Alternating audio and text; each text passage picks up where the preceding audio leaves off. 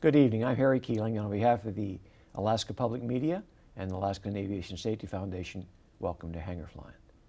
Last time, if you were able to tune in, we had John Parrott on the program. John is the manager of Ted Stevens uh, International Airport and was talking about uh, a concern that is the weed infestation on Lake Hood to include the invasive species Elodea. And tonight, we, I want to talk about something a little bit different, and that is what's going on, uh, what else is going around in the airport. So, John, welcome back. Thank you, sir. You want to talk about the Lake Hood uh, master plan? Mm-hmm. We, uh, we kicked the master plan off uh, several years ago. The, the last Lake Hood master plan was, I, I think, completed back in about 2006. So we were a little bit overdue, uh, but it didn't appear that a lot had changed in the, in the general aviation arena. So we kicked the master plan off. We're, we're working our way. Uh, we went through some public input to, uh, to help us scope what should the master plan look at. Uh, and, and we always get a lot of good ideas, some of which are, are master plan infrastructure issues, and then some of which are operational policy and procedure issues. And so we, we're, we're glad to get those. They end up just not being master plan issues, so we move them and, and we deal with them uh, outside the master planning process, but it's still good information for us to get. We're currently uh, finalizing with our consultant the forecast. Shows very modest uh, predicted growth in the general aviation community. Uh, a lot of that will be in the corporate side.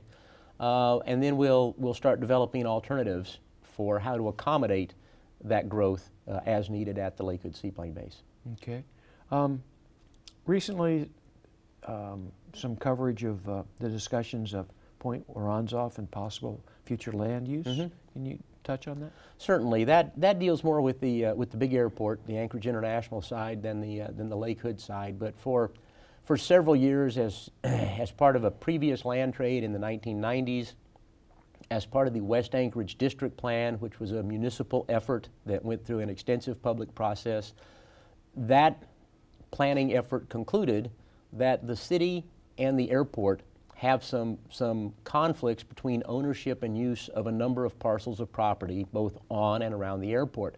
So the West Anchorage District Plan recommended that we, the city and the airport, get together uh, to see if we can resolve those. So there was a land trade task force put together that met 10 times with uh, community representatives, uh, legislative representatives, various city departments and agencies, and the airport to look at were there ways we could resolve some of these conflicts? And the recommendation from that task force, uh, which came out, uh, I think, late last year, that recommendation was that yes, there were ways to exchange whole or partial parcels to resolve some of those conflicts. And, and the parcels that are really kind of the, the major ones were Point Woronzof Park, uh, which, by the way, is not the parking lot at the north end, uh, just north of the wastewater facility. That's Point Woronzof Overlook and is airport property and has been for many years and, and would be one of the pieces we might want to trade to the Muni. And then there's the Anchorage Wastewater Utility Plant. There's a large section to the south of that that is dedicated for their expansion. And then there's a section south of that that is actually the dedicated Point Woronzof Park. And I, and I only explain that because a lot of people we talk to think that parking lot is, is the park, and that's, that, that's not the area we're talking about. On the airport side, uh, Little Campbell Lake is airport property. Very high value, very high volume, recreational use by the residents of Anchorage. Connors Bog Dog Park is airport property. The airport is really not in the business of running dog parks, mm uh, and, and there's really little opportunity to do aviation development uh, to the east of Jewel Lake, up, up next to the municipal snow dump, uh, which is also on airport property and which the municipality needs to make some improvements to. And then, uh, as many people remember, the, uh, the airport received from the federal government the old FCC property. And there's a section south of Raspberry that, that um, butts up against Kincaid Park that we think might make a nice little addition to, uh, to Kincaid Park. So those are kind of the parcels that we in the Muni are looking to, to try to sort our way through. And the first step that we think uh, everyone has agreed uh, we need to do is to get the Muni on a long-term lease for the snow dump or snow disposal site uh, so that they can begin the process to make the, the EPA mandated improvements there.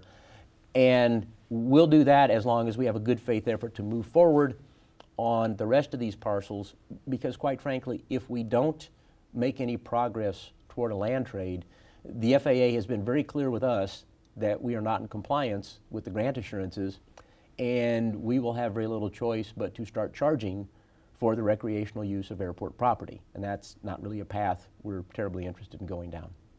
John, thanks very much. That, that was a great explanation. Appreciate it. Our, I know our audience will. I appreciate you being on the program tonight. Certainly, Harry. Ladies and gentlemen, I hope you enjoyed tonight's program. Uh, and I, I would ask you to keep in mind it's brought to you by the Alaskan Aviation Safety Foundation.